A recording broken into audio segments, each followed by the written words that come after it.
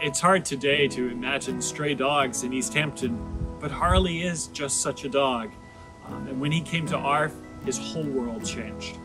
He got here, he had chronic ear disease and, and he was heavily parasitized. He had tick disease. Uh, so you knew this dog didn't have the care. He was truly neglected.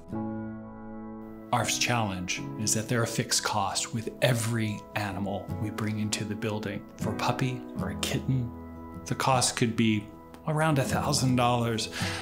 But for adult dogs who have gone through abuse or trauma or neglect, the cost can be tens of thousands of dollars.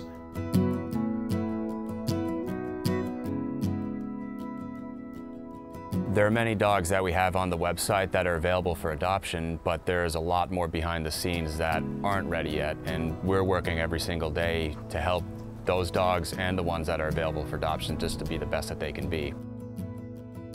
It's almost like they have a, a shell around them because they've been so traumatized. And even, uh, you know, the shyest dog that's curled up in a ball and, and won't look at you and won't walk and won't eat, when you find what makes them happy, that's usually the breakthrough and it just heals them. It, it's an amazing transformation.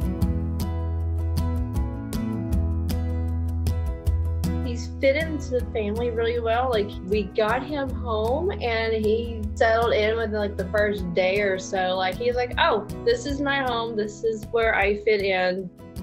What I would say to the donors is that their gift causes a ripple effect because not only does it help their community, it can help families get animals into their homes. When a dog goes home, it's validation and it gives hope all the way down the road to South Texas, to Georgia, to South Carolina, everywhere that ARF rescues, it means we have space for another dog.